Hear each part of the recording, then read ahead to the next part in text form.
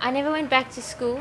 I um, was home educated right through, and um, we, uh, we, I know my parents considered um, changing curriculums or doing something that would give me a, a recognized qualification, but um, we decided against that. My parents didn't feel that's what God wanted, um, and that He had another plan, and so we continued with um, KONOS, and um, I continued using that curriculum um, right through till the end of my schooling years as such, and it has been a wonderful experience. I really enjoyed. I enjoyed learning what I did learn. I loved the sciences and maths. It was my favorite, and um, yeah, I can definitely see it's helped me.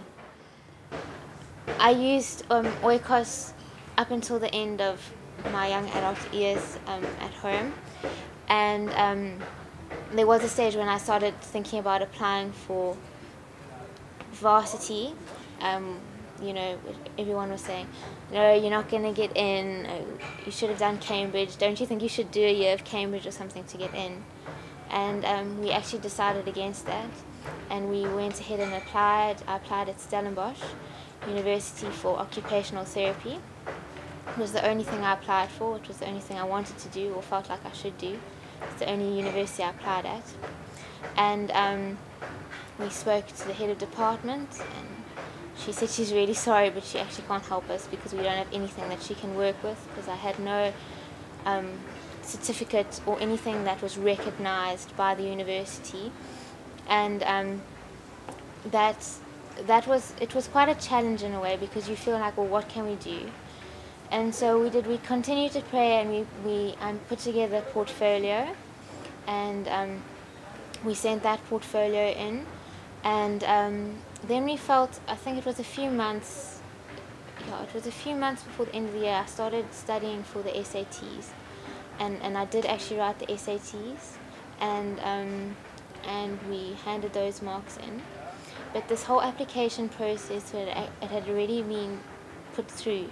My, my name was on the waiting list, which was an absolute miracle. No one knew how it got there. Um, in fact, last year I'm still uh, an error because I don't have a matric certificate. So last year, at the end of first year, I was actually also told, um, sorry, you're not going to be able to register next year because you don't have any certification. Why are you here? but I am still here and I was able to register this year. So like God has really opened doors where there haven't been any doors. It's made holes in walls. and are you are you glad that it went the way it's gone? Uh, you know, or would have you as a student would have you preferred it if you could have just had your matric certificate and just walked in the door with your matrices? Or, or is that reality? Do people who got matric certific certificates are they able just to walk and you know get registered at Stellenbosch? What, what is the reality of all of this? I think sometimes if you have a matric certificate, you think, oh, everything's going to be easy. So sometimes I think I did I, I did feel, oh, it would have been nice just to have a matric certificate and I would just get in. But it was very fleeting because it's very much the easy way out. And actually, I'm I'm very very very happy that I was home educated, and I think that there's a great richness that comes from that, and I wouldn't want to give that up for anything. Um, and actually, even if you have a matric, it's not a guarantee of getting into varsity. There are a lot of factors. It's actually it's it's a step by step process for anyone who has to apply. There's no guarantee to get in. I think no matter even if you have your matric, you still got to have, you still got to put in a lot of effort, and I don't know, God can walk you through that as well.